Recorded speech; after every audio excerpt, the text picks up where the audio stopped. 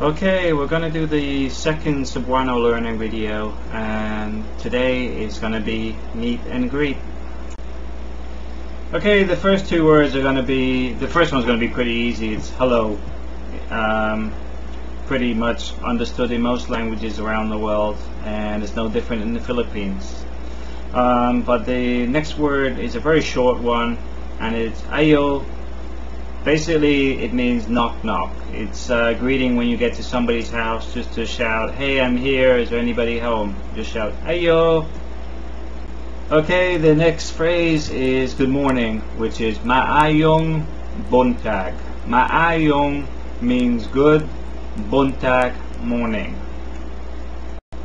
Okay, the next phrase is for between 12 and 1, uh, which is good noon, which is maayong udto. Okay, the next bit we're going to do is good afternoon, which is maayong hapon. Hapon is uh, afternoon, but if you say hapon with a less tense on the A, it actually means Japanese. So it's maayong hapon. Okay, the next one is maayong gabi, e, which is good evening. Maayong gabi. Okay, so what do you do when somebody says these words to you, like good evening, good morning, or good noon? How do you respond?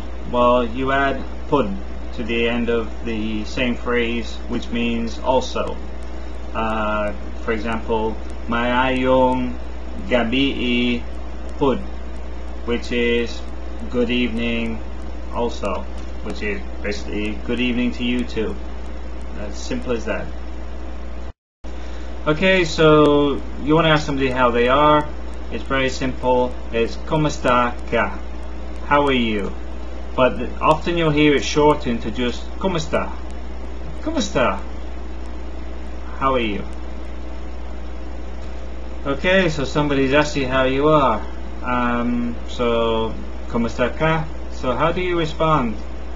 Um, a couple of short phrases, easy to learn and quick to learn, are okay lang and okay la, which is I'm okay, I'm good.